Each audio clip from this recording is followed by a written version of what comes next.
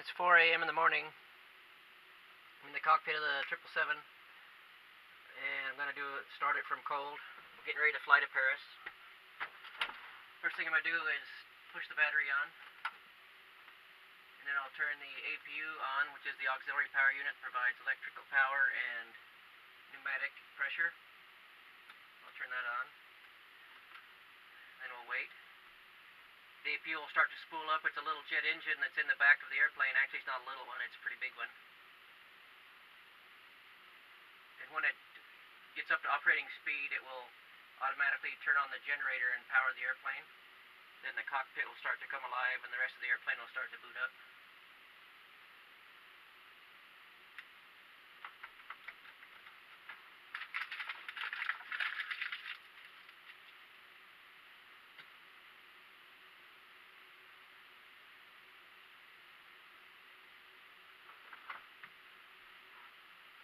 Once the airplane starts to boot up, it'll make lot. You'll hear lots of lights flashing, or lots of sounds and lights flashing. That's the built-in test equipment called BITE.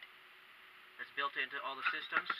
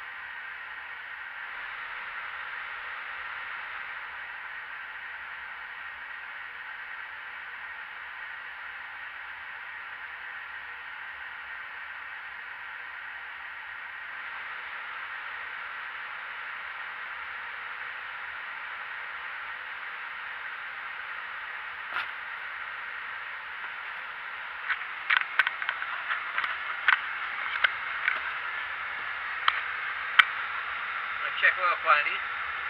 So I need to add some oil in each engine. About 18 quarts there and 17 quarts there. Got a six hour flight up to Paris. I'm going to run that up to about uh, 23 quarts total in each one.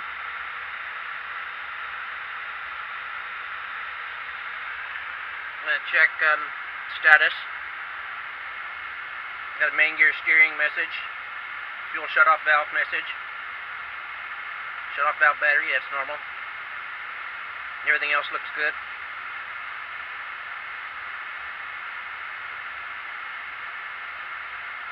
Do a fire test.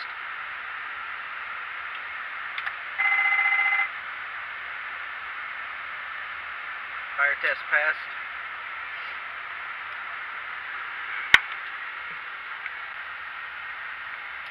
We're going to start taking on fuel, and I'm going to put the brakes on so that we don't roll up against the chocks, because that gets hard to take them out when you have 500,000 pounds sitting uh, against them. So first thing I'm going to do is go over to the hydraulic page. That shows our hydraulic systems. I'm going to come up here and turn on the air pump. I'm going to turn on this pump. Lights turn green, it's pressurizing. This is the brake accumulator, it's pressurizing. Now what I'm going to do is, probably can't see that. Does that help? I'm going to push down with my feet on the top of these rudder pedals, like that. And then I'm going to reach over here and lift this up. Let off with my toes. Now the parking brake's locked. I'll come back up here and turn off the hydraulics. And the parking brake set so that we won't move around or uh, roll any bit as we put on, uh, we're going to take on about 120,000 pounds of fuel. And that tends to make you sag and roll around a little bit if you're not careful.